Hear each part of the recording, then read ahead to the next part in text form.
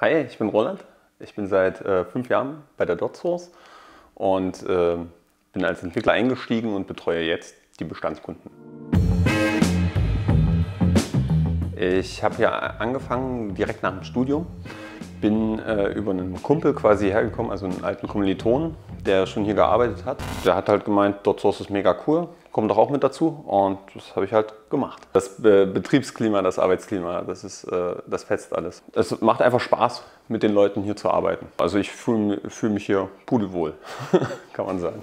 Man wird hier reingeworfen und äh, man bekommt das schon beigebracht, was man wissen muss.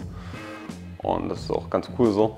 Das heißt, man hat eben immer Betreuer, die einen äh, an die Hand nehmen. Direkt am Anfang hat man auch so einen gewissen Welpenschutz, sage ich mal, wo noch nicht die Leistung erwartet wird, äh, wo einem, ich sag mal, ein Betreuer an die Hand gegeben wird.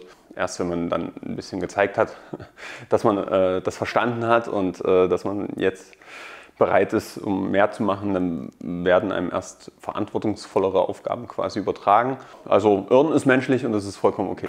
Ich habe angefangen mit Java, also reines Java und ähm, mittlerweile naja, mache ich halt so ziemlich alles, also äh, was, was Hybris angeht. Also das heißt eben äh, JavaScript, CSS, HTML und ganz normales Java, Java 8 benutzen wir jetzt meistens schon. Das sind so die, die Sprachen, mit denen man meistens unterwegs ist. Ansonsten kommen halt noch solche Sachen wie XML und Spring Framework und sowas dazu.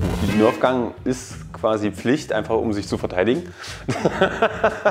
Ansonsten ist mir der Willkür der Kollegen quasi schutzlos ausgeliefert und äh, genau, nach dem Mittagessen oder so ist äh, eigentlich eine kleine Runde am Kicker auch Pflicht. Wir haben jetzt auch eine äh, PS4. Also das heißt, FIFA ist ganz groß im Kommen. Äh, gerade jetzt, wenn der Winter wieder anrückt, dann äh, ist FIFA-Saison.